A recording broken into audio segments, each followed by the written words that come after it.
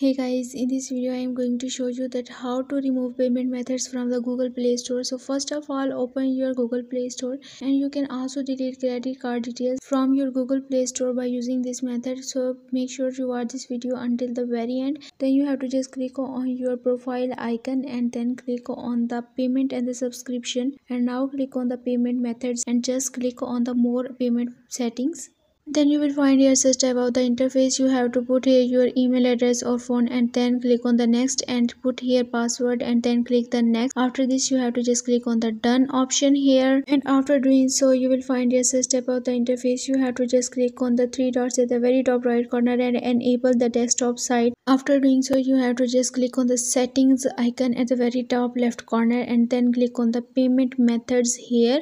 And after doing so you can see here my debit card details. Now i try to remove it. Again click on the settings icon at the top left corner. You can see here my profile details. Now just click on the close payment profile option and after this you have to just click on the continue option here. Then choose here the permanently option and click to the confirm option here. And then click on yes i am sure and you can see that my profile has been deleted permanently. Now i just open my google play store and show that the payment method from the google play store is removed or not. I just click on it and then click on payment and subscription and payment method. And now you can see that uh, my payment method has been deleted permanently. So i hope this video will be helpful for you. So give this video a thumbs up and also subscribe my channel. Let me guide. Thanks for watching